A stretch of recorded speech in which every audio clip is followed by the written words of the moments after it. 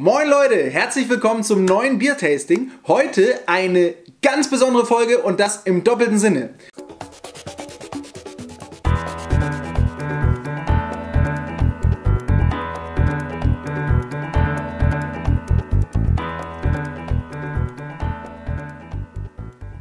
Zum ersten ist dies eine besondere Folge, weil wir zum allerersten Mal ein Sponsorbier bekommen haben. Ah, ich habe gerade.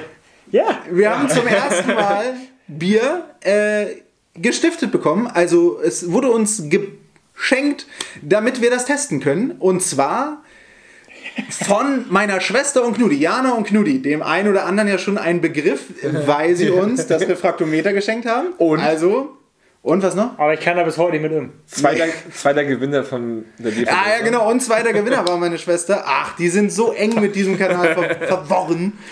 Darauf gehe ich gleich nochmal im genaueren ein. Und zum anderen, unser alter? Kumpel, stell ich mal vor. Ja, Damit hat er nicht gerechnet. Ja.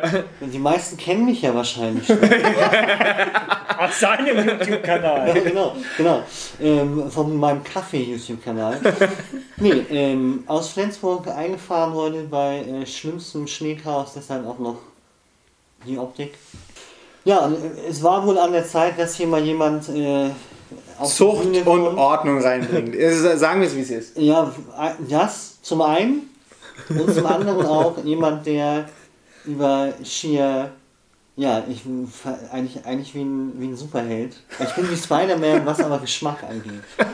Und das, Da bin ich echt ja, gespannt, was das ist. Das ist Meier. Ja. Alter Kollege von uns, der uns heute mal besucht hat. Wir sind nebenbei am Brauen und so weiter und jetzt geht's endlich mal los. Aber wir haben auch nicht so viel Zeit. Also schnell reden Genau. und deutlich reden. Schön, dass du da bist. Schön, dass du Ja, uns unterstützt. Ich will kurz noch mal was dazu erzählen. Also, das Bier haben uns Jana und Knudi zur Verfügung gestellt. Hat er gesagt schon. Es kam aber dazu, dass die mit Freunden, nämlich äh, mit Petra und Rolf, sich zum Essen getroffen haben. Petra und Rolf, Biertrinker, trinken aber nur Alt-Sumbacher. Und das lassen sie sich immer aus Thüringen von einem Lieferanten irgendwie mitbringen. Meine Schwester natürlich, wie sie ist, sofort gesagt, oh, das ist aber interessant, mein Bruder und so, mit seinen Kollegen, Bier und bla bla bla. Äh, und da haben äh, Petra und Rolf direkt gesagt, nimm mal drei Flaschen mit. Also eigentlich haben die uns das gespendet. Und da konnten Alt- sie auch nicht wissen, dass wir heute vier Ja, sind. ja, Genau, da konnten sie, also dementsprechend alles in Ordnung. Ein ganz liebes Dankeschön raus an Petra und Rolf und an Jan und Knudi. Vielen Dank für diese Spende. Worum geht es aber eigentlich? Um Alt-Sumbacher Dunkel. Also ein Dunkelbier der Privatbrauerei Gessner. Kommt aus Thüringen. Der Ort, wo das herkommt, ist Sonneberg. Wie kommt es nun zu dem Namen Alt-Sumbacher? Alt-Sumbacher ist das alte Wort für Sonneberg. Äh, also es ist die Traditionsmarke von denen. Also die ganze Privatbrauerei Gessner äh, derzeit im, immer noch im Familienbesitz von Manuela und Bernd Schäfer heißen die Besitzer. Die Brauerei hat aber schon eine 400-jährige Tradition. Seit 622 sind sie am Brauen und berufen sich absolut auf äh, dieses ländliche, dieses traditionelle von Handwerk mit viel Liebe und so weiter, wie man das kennt. Darf ich Klugscheißer sein? Na, schieß los. So traditionell, dass sie auch noch die alte Rechtschreibung benutzen. Oh. Genuss mit SZ. Ja, da, das ist ein Konzept, das von A bis Z durchgefahren wird. Ja. Tradition ist Tradition. Also ich dachte, dass ich ein Klugscheißer bin. nee, nee, das auch. Ja, ja. Sorry. So, genug der großen Vorstellung. Das war ja jetzt viel Gerede am Anfang. Jetzt kommt wenig Getaste. Genau. Also, auf den Humpen. Ja. Dir gebührt Hast die Ehre. Nächstes Mal. Da lag aber auch Hass drin. Also, seinem Namen wird es auf jeden Fall schon gerecht. Es handelt sich um ein sehr dunkles Bier. Ich finde den Schaum richtig gut. Schnuppert schön süß. Vor allen Dingen ist das so ein cremiger Schaum. Nicht so feinperlig, sondern echt cremig. Fe- Feinblasig. Ja, so sagt man, ne? Von mir ist er ein bisschen grobblasige. Ja, das, weil du auch so grob schlecht nicht immer einschätzt. Meier soll das machen, der ist neu. Ja, Meier, sag uns was. Ja. Nicht hier lange lesen. ja, das ist eigentlich meine Stärke. Lesen. das ist mir nie so aufgefallen eigentlich. Hm. hm ist schon mal ein guter Anfang. Also, ich habe ihm ja Oh, das. nochmal hier ein IPA aus dem eigenen Hause getrunken. Ah, danke. Wie war's? Aber das natürlich, kann man nicht vergleichen, denke ich, mit einem Dunkel, ne? aber Nee. geruchstechnisch kommt hier nicht viel bei mir an. Dabei habe ich ja extrem, äh, Also mein Großen ist extrem gut. Ja. Dafür ist er bekannt. Ja, deswegen hieß auch die ganze Jugend über Meier die Nase. Ja. Also ich finde da eine klare, eine klare Malzsüßigkeit. Malznote, ja. Also Süßigkeit, richtig, ja. Süßigkeit, Ja. Süßigkeit, alles. also extremer Malz. Und ich finde, man riecht einen ganz leichten, äh, ganz leichten Rauch noch. Minimal, aber Ja. ganz Ja, minimal. da wäre ich dabei. Ah, Benny, da sind wir uns aber richtig einig heute. Ja, heute schon. Ne? Guck ja. nur so in verständnisvolle Aber Augen. ihr habt euch wieder verschworen. Einfach nur, weil ihr mich raushaben wollt. Trinken ist hier, wann man will, dann, ne? Nee, Nee, vorher das Anstoß. Anstoßen. Ach so, oh, War ja auch so. Danke, dass du da bist. Ja, danke für die äh, ja, spontane Einladung, ja, mehr oder weniger. Ja. Oh. Ist aber eine rauchige Note drin. Mhm. Und ich mag nicht gerne Rauchbier, aber das ist, das geht noch. Na gut, das ist jetzt auch weit weg von einem Rauchbier, aber. Ja, ja, aber also, ich meine, das also, das wollte ich positiv äh, darstellen. Aber kommt erst so im Nachgang. Also Die Anfang- Rauchigkeit ist nett. Am Anfang ist es wieder leicht, nicht säuerlich, aber es hat so eine Spritzigkeit. Spritzig? Nee, nicht, nicht sprittig. Achso, ist was anderes. Ja, also Achso, spritzig Bei uns. im Sinne von. es prickelt auf der Zunge Ja, und im okay. Nachgang kommt dann dieser Rauchgeschmack hin. Für ein Dunkel finde ich sehr angenehm. Ist nicht so stark. Das ist. Äh, Hat ja auch nur fünf ich find, Volumen, ne? sehr weich. Also so im, im ganzen Mund. Das kommt. Das, äh, ja, weich einfach. Ein anderes Wort fällt mir dafür nicht ein. Äh, für Dunkles kann man davon mehr trinken als nur eins. Also es ist nicht so, dass es jetzt wieder. Es ist ein süffiges Dunkles. Ja, genau. Ne? Genau, also das äh, finde ich auch. Du bist nicht gleich satt. Genau. Es erinnert mich auch ein bisschen an Malzbier. Malzbier. Ja, es hat halt einen hat- deutlichen Malzkörper. Ja, und ohne dass es irgendwie großartig nach Alkohol schmeckt tatsächlich.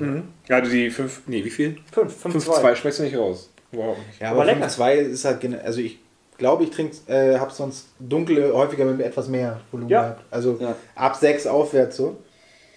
Ich finde es ist ein sehr ausgewogenes, süffiges, dunkles. genau. Also es, es bringt für mich genau das, was ein dunkles, was positiv an dunklen ist, in dem richtigen Mischverhältnis mit. So. Also du Ja, hast um diese, da mal mehr diese Malzigkeit, genau. Du bist Ja. nicht gleich satt, du hast eine ausgewogene Malzigkeit, leichte Rauchigkeit, die das die dezent da ist, einfach nur um es interessant zu machen, finde ich. Das ist einfach nur so da Runde und gut. sagt so, hey, hier ist auch Rauch in der Ecke.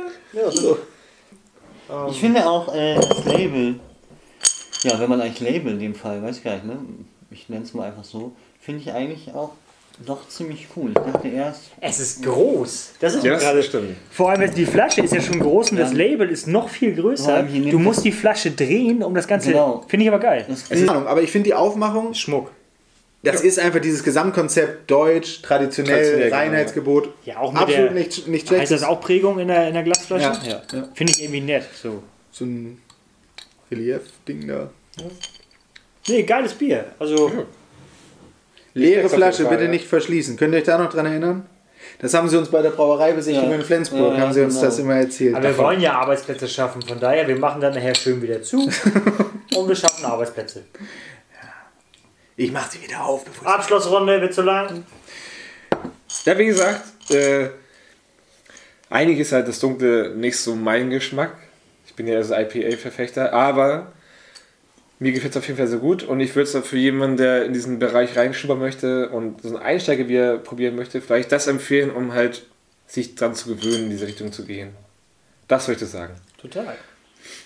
Äh, über, überraschend süffiges dunkles Bier. Also normales Dunkel ist ja nicht so süffig. Ich finde es richtig stark, weil es einfach so ja, nett geschmeidig in den Hals reingeht.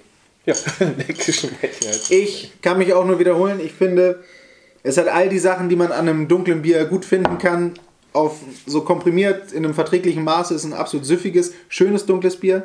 Das einzige, was ich leicht bemängeln würde, ist der Geruch. Also da schwingt für mich irgendein kleiner. Vielleicht stehen Also irgendwas in dem Geruch sagt mir einfach nicht so zu. Das findet man im Geschmack aber gar nicht wieder. Äh, überhaupt nicht wild, macht es für mich nicht kaputt. Ein super Bier. Ich hoffe, die Einleitung war nicht zu, äh, zu dahin gerattert und so weiter. Nochmal ein herzliches Dankeschön Dankeschön. an Jan und Knudi, Petra und Rolf. Cooles Bier.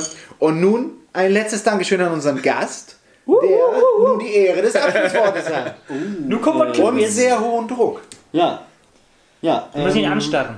Ja, das ist mir sehr gut, ja. Ja, die Nase, ähm, wie gesagt, am Anfang habe ich ja Dinge äh, von mir gegeben, die nicht dem äh, entsprachen, was hier meine Expertenrunde gesagt hat. Ich bleibe auch dabei. Wir haben jahrelange Erfahrung. Ja. Ja, stimmt, hier, hier sitzt ja die Expertise. Dazu werde ich auch gleich noch was sagen.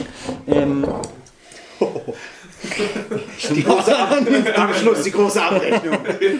ähm, ich muss auch äh, zustimmen, ich finde Dunkel eigentlich auch generell ganz geil und das hier könnte man sehr locker den ganzen Abend fast trinken, würde ich mal behaupten. Also sowas habe ich, glaube ich, bei Dunkel bisher noch nicht gehabt. Vielleicht mal für die Fans auch da draußen. Äh, das ist hier gar nicht, das ist hier gar nicht so. ja, endlich! Hier kommt die Tränen. äh, ähm, er ist ja ganz unaufgeregt hinter den Kulissen. Ich durfte jetzt ja mal reingucken. Ähm, Wie, das ist unaufgeregt. ja, man denkt Hier ja. war Hektik genau, und Stress. Genau, aber hier wird äh, mit Ruhe zumindest gebraucht. Was ich bisher gesehen habe, das Ergebnis äh, sehe ich gleich erst. Ähm, eigentlich standen die Körpersurfer eben immer nur um ihren Braumaster. Ist das das korrekte? Brainfather. Brainfather. Es muss natürlich auch Englisch sein. Ähm, und haben immer nur nachgeschüttet. Also das Ergebnis sehe ich gleich erst. Und ich darf es ja auch lange nicht probieren dann. Aber ähm, ja, mal schaut. Zurück zum Bier. Von mir auch Empfehlung. Also äh, kann ich das nicht verstehen. Wenn man jetzt sagen würde, ich will auf jeden Fall dunkel trinken. Und mir sind alle dunkel, die ich sonst so kenne, so krass, um davon zwei abends zu trinken oder drei, dann sollte man sich das wirklich liefern lassen. Wunderbar. Ich glaube, wir sind ja. alle zufrieden. Du bist aufgenommen. Du bist ein Doppeltöpfer. Ehrenmitgliedschaft. Ja, okay, Ehrenmitgliedschaft, ja, okay. Das, darum, darum lasse ich. Ich höre unseren Brainfather piepen. Wir Der müssen. piept. Wir müssen Feierabend machen. Vielen Dank an alle Beteiligten. Das war eine Special-Folge im doppelten Sinne. Wir freuen uns auf die nächsten Wer Folgen. soll's sagen? Der Schlusswort. Bleibt uns gewogen. Bleibt uns gewogen. Äh, ihm, bleibt ihm gewogen.